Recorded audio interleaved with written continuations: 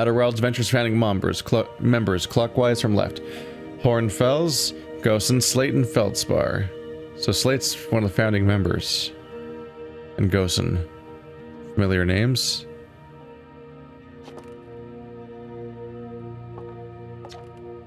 Big thanks to these additional founding members of Outer Wilds Ventures, without whom would never have gotten off the ground.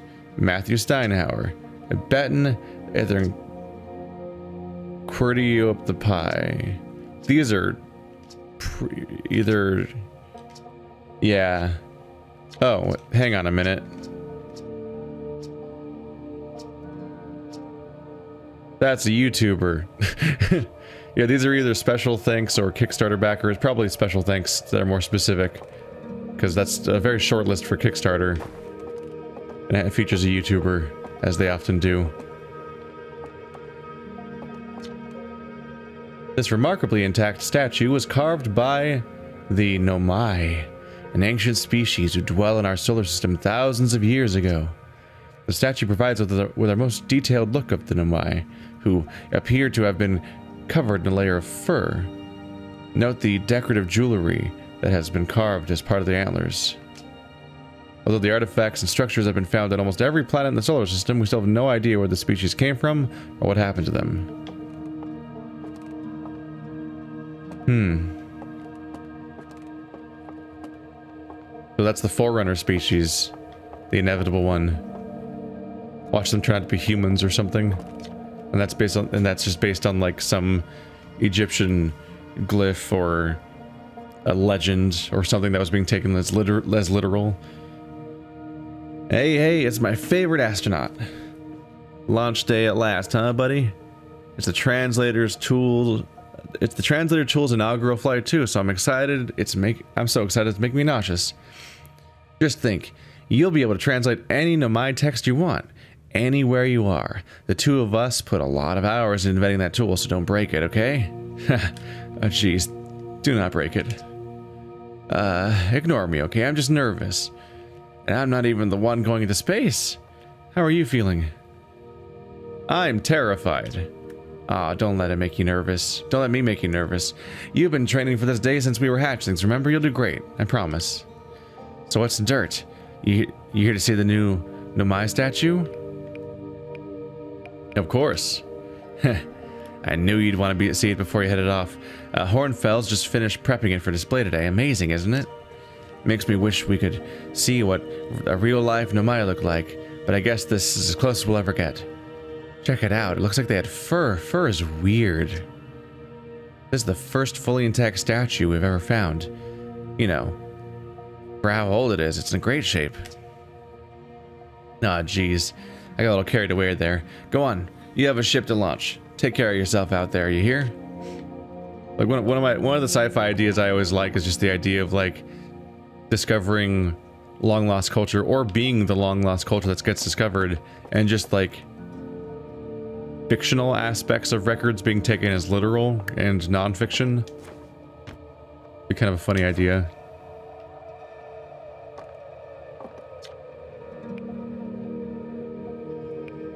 Where'd the statue come from? From Giant's Deep. Gabbro finished, uh, fished it out of the oceans and brought it back here for study. Hornfels don't know much about it yet, just that it's crazy old and super tough. I wonder why the Nomai carved it. Apparently, Gabbro went back to Giant's Deep to try to learn more about the statue. Maybe they'll find some answers there. Where can I find Gabbro? Gabbro said they're going back to Giant's Deep, or to wherever they found that Nomai statue. One of the islands, I think. You remember Gabbro plays a flute, right? Like all the time? I bet your signal scope could find them easily. Ah. If I want to find Gabbro, use my signal scope at Giant's, Be at Giant's Deep. I feel like I should write this down. Whipping out some note paper. Gonna write yeah, bro. Giant's Deep. Loot. Signal. Scope. And we'll see if that ever comes up again. Yeah. Stay put. There you go. If you do see Gabbro, say hi for me. Why'd the Nomai make this statue? Good question. So Gabbro found this fully intact statue of Giant's Deep, right? Well, Hornfels told me it's made from the same type of special stone that that, that statue fragment Chert. Chert! Yay! the, this, it's the specific thing that I've named multiple characters after. There's a Chert in this game. Chert brought back from the Hourglass Twins. So one of the one of the explorers is named Chert. That's great. We know the stone from Chert's fragment can store information. That's why some of the stone from that statue fragment was repurposed for your ship's computer. Maybe the statues are made from storing information too. Think I'll discover anything cool in space? Ask the stupid person. Hey, you never know. Maybe you'll be the one to solve the mysteries of the Nomai. Or maybe they'll discover some, you'll discover some new kind of rock or something. But honestly, as long as you don't end up naming new scientific equipment after you, I'm sure you'll have done a great job. Oh, that was it. No problem, take it easy. Hal. Is your name Hal because your name is short for Halite? I don't think Hal is a rock, but I know Halite is. I think I can decode their names. That's the thing that looked like it blew up a moment ago, so that's worrying. Oh. Maybe it didn't. It looks like it launches stuff. Look at that. Is there a sign pointing at what this thing is? Oh.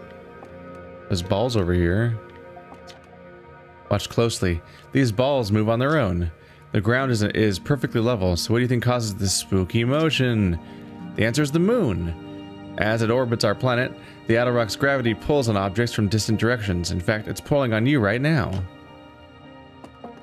This is like a time turner. Not time turner, that's the time travel thing from Harry Potter. But this thing uh, signifies the moon cycle and the planet cycle in combination. A little confusing.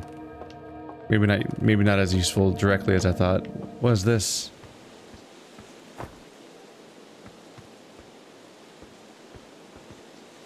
That's trippy. Looks like space glass. Strange rock moving around in this grotto appears to react to... The strange rock moving around in this grotto appears to react to conscious observation. The level-headed us among us realize there must be some sort of optical illusion at play, but Gabbro claims the rock exists in all possible states until it's observed, whatever that means. Whatever is actually happening, both sides of this debate agree the effect is extremely creepy. Oh. You made me look down to read that. I'm gonna look up and it's not there, isn't it? Yeah, that's not an optical that's not an optical illusion. That's creepy.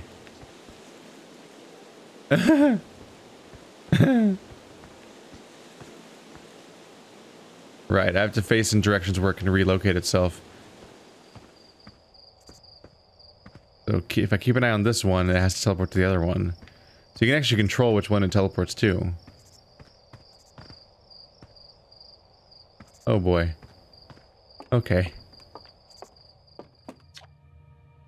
Stars like our sun generate light and heat by fusing hydrogen into helium. As it grows older, the star runs out of hydrogen and starts to contract. As the star's core contracts, it gets hotter, causing the outer layers to expand. The star has become a red giant. When the core is hot enough, it starts to fuse helium into carbon. This is just actually uh, this is just actually educational. If a star is massive enough, it will continue to fuse carbon into even heavier elements like iron. Ultimately, the star will collapse under its own gravity and then explode in a violent event called a supernova. Based on Chert's observations, that this will one day be the fate of our own sun.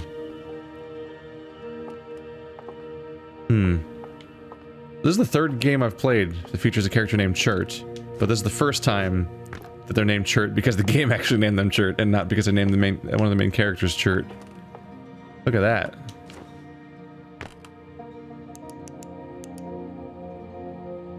Those are like ruins, right? This game's so pretty. This crystal was taken from a Nomai ruin on Brittle Hollow seems to create a local gravity distortion that was most likely used to traverse steep surfaces. Try it out. Wait, hang on. Yeah, that's what I thought.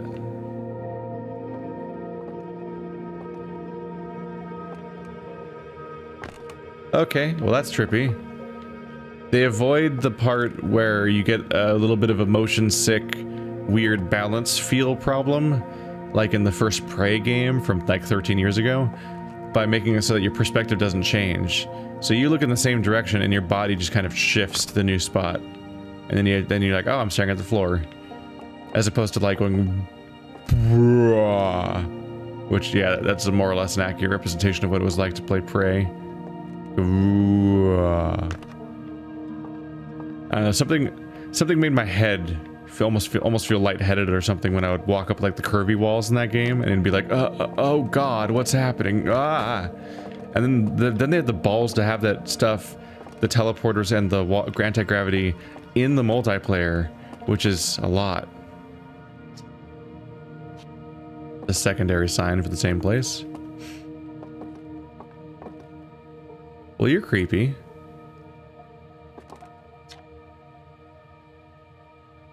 This anglerfish specimen was found attached to the landing gear of one of our ships that flew close to Dark Bramble. It appears well suited to living in dark places with minimal atmosphere. No.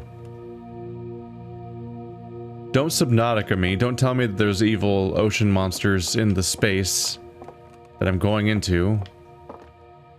That's not a good setup for me. That's not a good sign. The Nomai technology brought back from space by our, uh, by our astronauts has been a great boon to Outer Wilds ventures, allowing us to modify expedition gear in exciting and useful ways. For example, the Little Scout now boasts a warp retrieval uh, capability, capability that allows astronauts to recall their scouts almost instantly. This has dramatically reduced the number of scouts lost into the depths of space.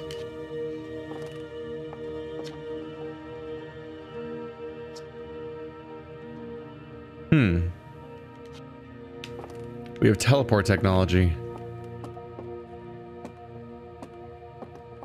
Uh, that appears to be a Nomai and an anglerfish. I think. Or just more. Wait, no, that's a that's a pelvis, not a fish head. What you see here are parts of the Nomai skeleton.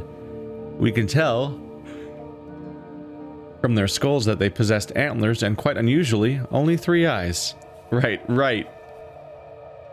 Right, it's only three eyes for you guys. right, that's an interesting distinction. The Nomai body was most likely adapted for living exclusively on land. The differences in Nomai's anatomy, such as their shockingly fragile bone structure, shows us that Hearthians couldn't have descended from Nomaian ancestors. It's not clear where the Nomai originated from, or why they disappeared. We hope to find out more clues to this puzzle as we explore our solar system. I... I mean, bone density can change over time. There's a type of bird that I was hearing about that basically had to densify the shit out of its bones in order to be able to make music with the with its bones on its wings and vibrate them in a way that makes sound that attracts mates. And as a result they've essentially lost or significantly damaged their ability to fly because you know birds having hollow bones is kind of a big deal. And they they evolved back to not having hollow bones which is bizarre. They're not moving right now I thought they were moving faster before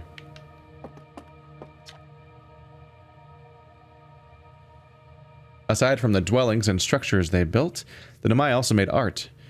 This decorated pottery was discovered on Brittle Hollow. Some ancient Nomai art depicts strange animals, foreign celestial objects, and other subjects that can't be found in our solar system.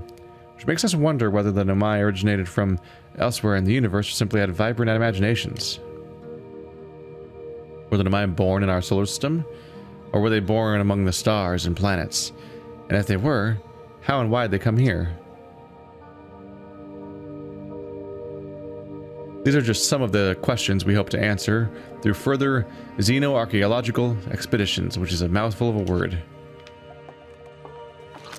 Whoa! Hi. Untranslated Nomai writing. Alright. Whoa. Oh, they their writing is made of fractals. Cassava. We're nearly ready. Filix and I have finished construction, and she says calibrating the device won't take long. Filix. Fortunately, the Attlerock's lack of atmosphere will make calibration simple. After all this time, I'm thrilled to finally resume our search. What the hell? That's a really inefficient way of writing if it takes all of that just to make that text pop up. Unless they have a printer?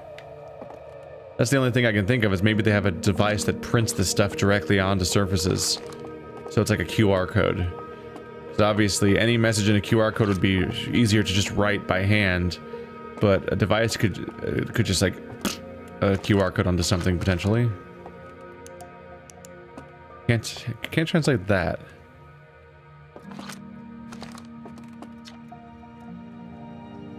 This piece of Nomai writing was essential, essential to deciphering their unique language.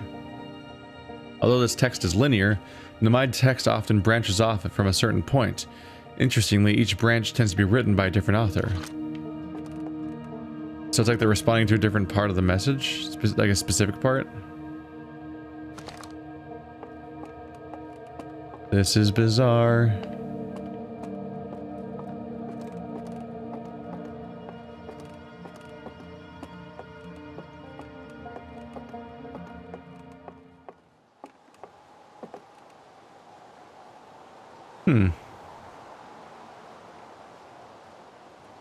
Lot of technology reminiscent of what you'd expect somewhat, but a lot of the stuff around here seems to be just like, how do I put it? It's like all the stuff that is being used implies they have different resources available entirely. In particular, they like they there's some rare uses of of metal around here, but tons of wood. Oh, there's like a flicker. Tons of wood, tons of cloth.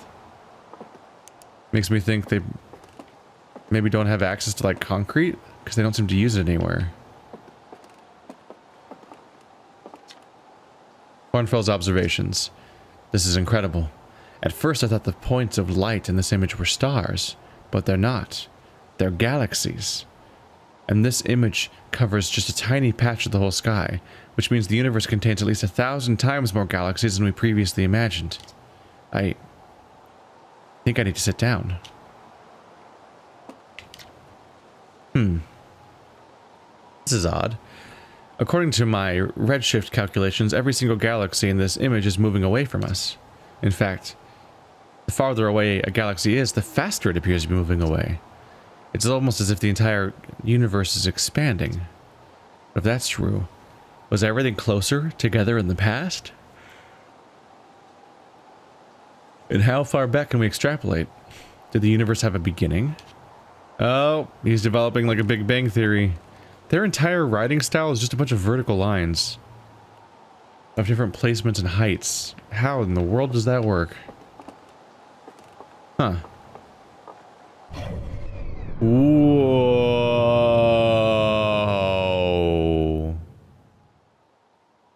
There was no warning that was going to happen. Holy crap. That was a little grid? Yeah. Little grid system. So here's Brittle Hollow and Hollow's Lantern. Oh yeah, we've heard about that. So when they're talking about Hollow's Lantern, they're talking about this glowing moon made of magma. Brittle Hollow does look pretty brittle. Timber Hearth and the Attlerock. There's the moon we've heard about. And it really shows how small these planets are. You can see the individual crater that we're in. There's other craters on the same planet. Huh. I see one up there.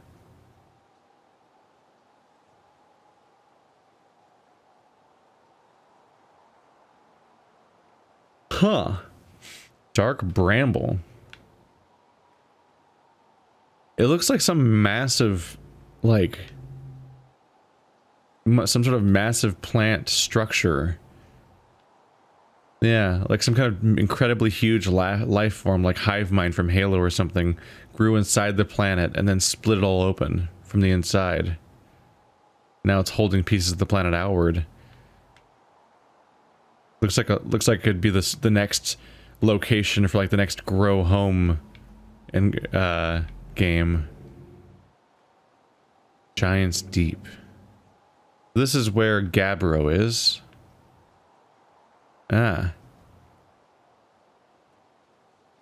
That looks like one of those satellite things we saw before, and it looks broken. That might be the one I saw that's broken, except it's on the same wrong planet. But we seem to have a similar orbit, so maybe I'm just maybe I was seeing that thing orbiting around Giants Deep. I might I might have line of sight for that. Meanwhile, the fact that these things are so small actually means I can probably fully explore them, like No Man's Sky style. Except there's except they're probably pre-made levels that are handcrafted, so they're you know, worth exploring and not just an infinite procedurally generated nonsense thing that I don't have much reason to care about. There's the Ash Twin and Ember Twin. There's twin planets orbiting around each other, sharing an orbit, basically. That is very unusual.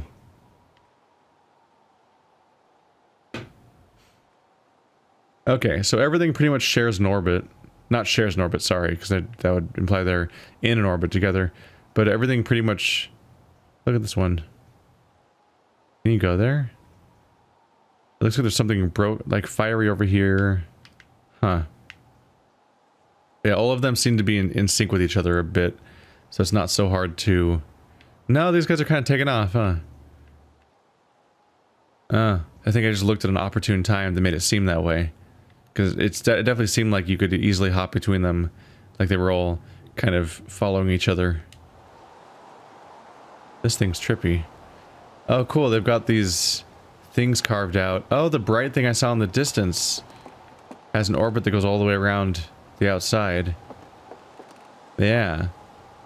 So it goes from being the outermost to being the innermost. Like, like a comet. Whoa, is a grand conjunction happening right now? No. Uh, so this thing does not match. For a moment there, they were all perfectly lined up. Uh, that, that, was, that, that was a cool little moment. It's gone. Apparently it's taken me multiple days to get my ass up here, but I guess that, might not mean that I actually have taken hours and hours and hours. It might just be that days are really quick on this planet. Like, really quick. There's Hornfels. I thought Horn... I totally thought it was multiple people because of the plural sounding name. There you are. I just finished pre-flight pre observations and local conditions are good. Time to get our newest astronaut off the ground. And you'll be our first astronaut ever equipped with a Nomai translator tool. I confess I've been giddy all day just thinking about it. We are better equipped than ever to unravel the mysteries of the Nomai. You and Hal should be very proud of your work. Tell me, what's your plan once you're out in space?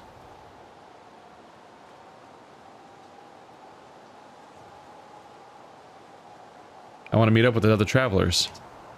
You're going to check in on them, are you? Not a bad plan. No one knows the solar system better than our astronauts. Let's see. Chert is on the Hourglass Twins. Let's write this down. Wow. What a great time to have just written, uh, just dropped my uh, pen. Alright. So Chert is at the Hourglass Twins.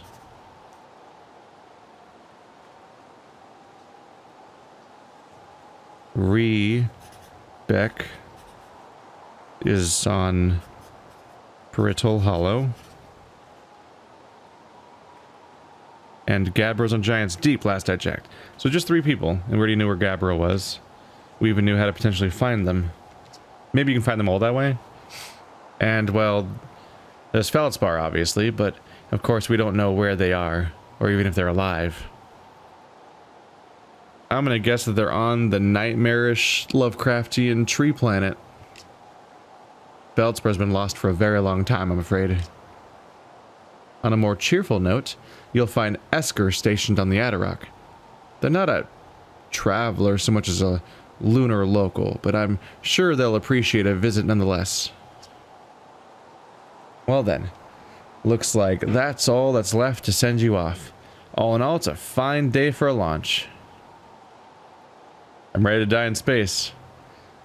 I'm not one for superstition, but isn't that kind of unlucky? Isn't it kind of unlucky to say before a launch? At any rate, here are the launch codes. Try not to worry so much. Our ships are every bit as safe as Slate could be persuaded to make them. That's level of trust I should be worried about then. Best of luck out there. Let me know if I can help you with anything. Launch codes. Dot, dot, dot, dot, dot, dot, dot, dot, dot, dot. Hmm. Long, long, long, short, short, long, short. If it's anything like Morse code, perhaps?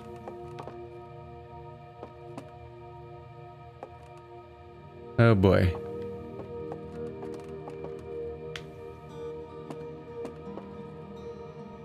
Oh, it's really trippy. Um. Okay, you're screwing with me, right? Oh. Wait, that's everything I just did.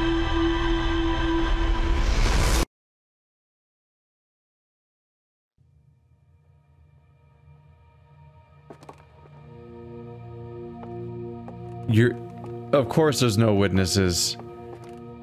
That was a recording of everything I've done so far. They've got goat eyes.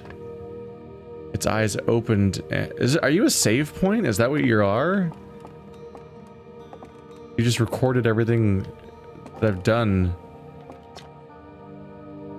I've already read this one. Uh... Hey... Buddy, where you at? Something crazy just happened? Where'd you go? Oh, you, you just had to... Just had to look away, huh? Hey, hey! So you get a good look at the Nomai statue? Statue looked at me and opened its eyes. Whoa, whoa, the statue was doing what? So its eyes opened and you saw images from your own memories and glowing lights flying around? You mean like a hallucination? Listen, no offense, but are you sure you're okay to launch? Like, medically speaking. No, that statue is definitely weird. I mean, if you're saying it happened, then I guess maybe it did, but why?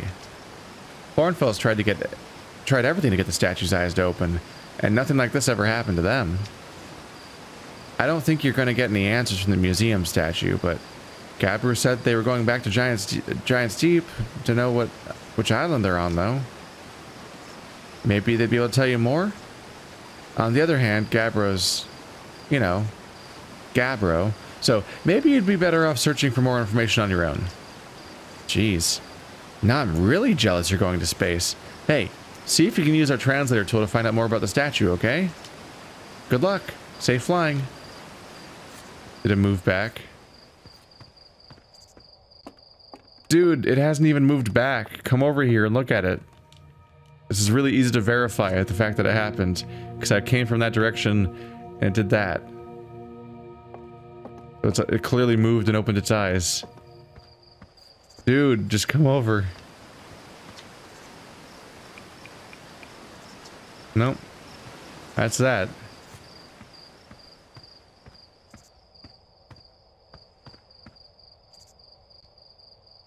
Does all the water come from? Going since we've been to the core, where does that tunnel lead to make it do that? Now I'm all curious. I also don't know much of, much about geysers. I know how how artesian wells work. A geyser might be a high force version of that. I don't know. I've never studied studied geysers specifically. I know an artesian well is just the fact that there's a there's a water table. Uh, just in general, like most places you go, there's some kind of water table, which is the horizontal top layer of where the water is in the ground. And if it, it's usually under the ground, but it can be above the ground, which is what a, a lake is, or the ocean, technically, I suppose.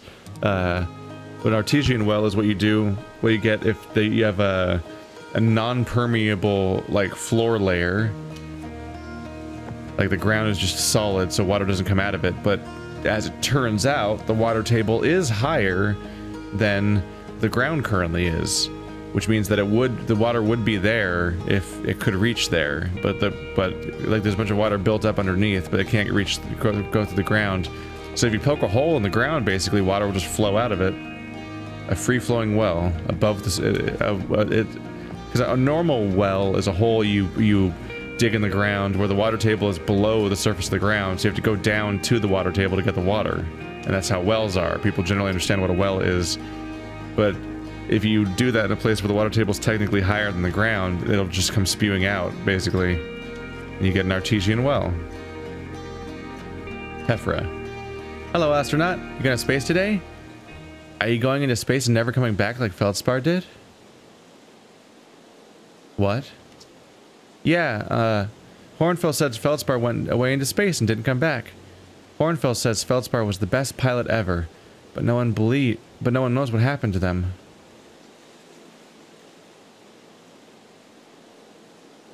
Hornfels probably shouldn't be telling you stuff like this.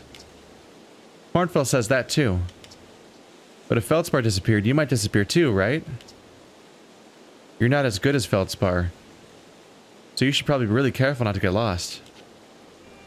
Uh, music just cuts out for a nice distressing moment of, hey, you ready to die, bro? You're gonna die. Here comes your death. There's some weird asset culling going on over there. Hey, we've gotten full circle back to our OG dude. How you doing, buddy? Looks like you're ready to take off. The excitement of a launch is fun and all, but I can't wait to get back to working on the new ship. Working on fixing the autopilot's avoidance system for this one. Um, sorry. So, I don't have an autopilot avoidance system? Oh no. It seems like we have houses around here, so we must have just been having like a last day on this planet outdoorsy camping session for fun or something. Seems like it. All right. Oh, I don't have to enter them manually.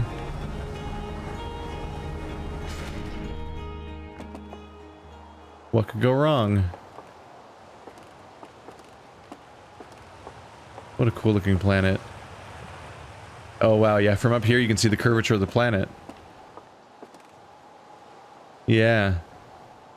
Because every single thing include like that that that thing I, I was uh that, that thing was level when I was on it, but from here it's tilted like crazy.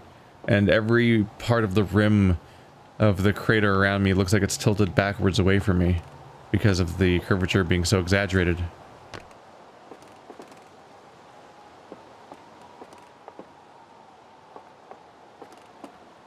Oh boy. I mean, now it's been hyped up for an hour, so this has like gravity to it. Pun.